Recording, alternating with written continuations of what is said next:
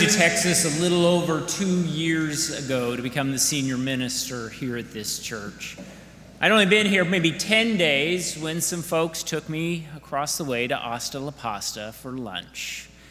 As we were finishing, a group of people from one of the side rooms walked by our table on their way out. One of them was Judge Adams. At our table, someone knew Judge Adams and invited him over, and we were introduced for the first time. He's a busy man.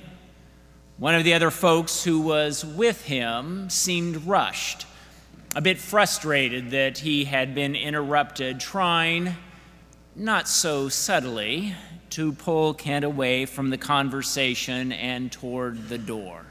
Another person from another table tried to get his attention, but he paused and asked me how things were going at the church.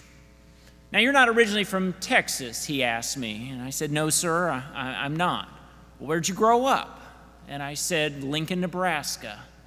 Cornhusker country, he said to me. I said, Yeah. I could tell that, again, the folks that were with him were trying to pull him away, pull him to the door. I'm sure he had a schedule to keep. I even tried to provide him an easy exit from the conversation. But he turned to me and asked, What was the best thing about growing up in Nebraska?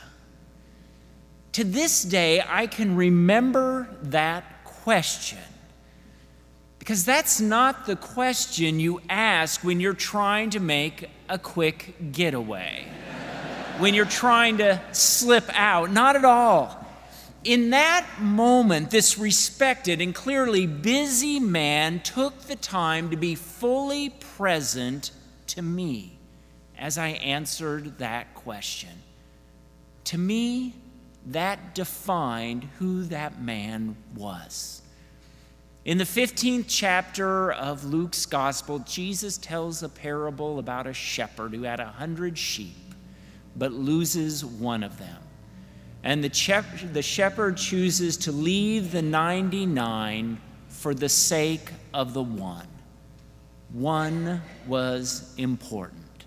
And from that first encounter I had with Judge Adams and many other interactions I had with him, I met a man who cared about the one cared about the individual, the person's life, the issues, the struggles, even what it meant to grow up in Nebraska. And the parable tells us that God cares about the one. And this day, my faith tells me that God's care for one man, Kent Adams, has not ceased with death. For God's love is greater than death and echoing those words that Glenn shared just moments ago there is nothing, no nothing in all of creation, not even death, that can separate us from the love of God. In just a moment, I will offer a, a word of benediction. But then I will ask for you all to remain seated as the family is dismissed. They will be taken across the way to our gymnasium where a reception is waiting. After they are dismissed, though, I invite you to join them there, for it is there that the stories will continue the sharing and the celebrating of a life that was lived, a good life. Let us pray. Gracious God, we know that your love surrounds us, that your love encourages us. And we pray oh, this day, O oh God, that your Spirit will provide all of us your peace that surpasses all understanding.